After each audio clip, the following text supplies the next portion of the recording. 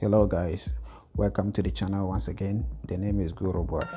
In this video i'm going to show you how to remove apple id or forgotten apple id on your device from settings or open menu. So right over here i do have a bonded apple id on my iphone 7 plus right over here which is being locked. And I can now sign out since I don't know my previous sign in password so in this video I'll show you the steps on how to get sign out of your device. So here you do see I cannot sign out of my previous account. And if your account do have two-factor authentication then you can use that method to reset your password. But for now I'll show you the easiest method to remove Apple ID on your device. So here on our desktop move to these two right over here which is the WinRain which will, I'll leave the link in the description of this video. So when you do you open the WinRain you will see three options in the applications. We need to use the second option to jailbreak iOS 12 to 14 on A8 to A11 devices. And also the third option which is the iOS 15 to 16 jailbreak also for the A8 and A11 jailbreak.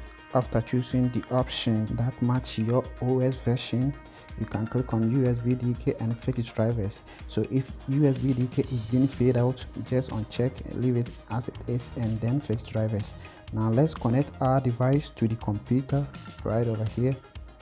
So here just connect your USB cable to the computer and wait for your device to be detected by the tool and also trust the device and input the password. If your device has password make sure that you remove or turn off any passcode on your device. So right over here let me turn off or quick turn off the passcode on this device before we do jailbreak.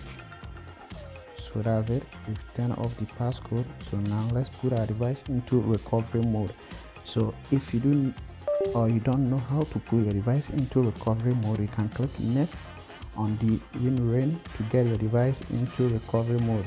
So the tool will try to put your device into recovery mode. So let here let me wait for my device to get into recovery mode and we can proceed to the next step. Okay so we do have our device in recovery mode. So just click on next and when you do click on next it will instruct you per your device on how to put your device into the airfield for the exploit to begin. So just click start and follow the instructions for your device. In the process of the jailbreak if you are being prompted to install drivers make sure to install the drivers and proceed.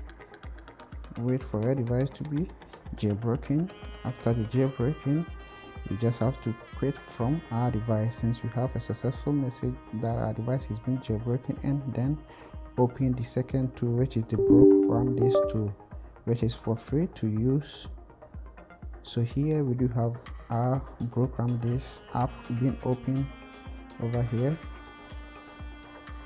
All we have to do in the program this tool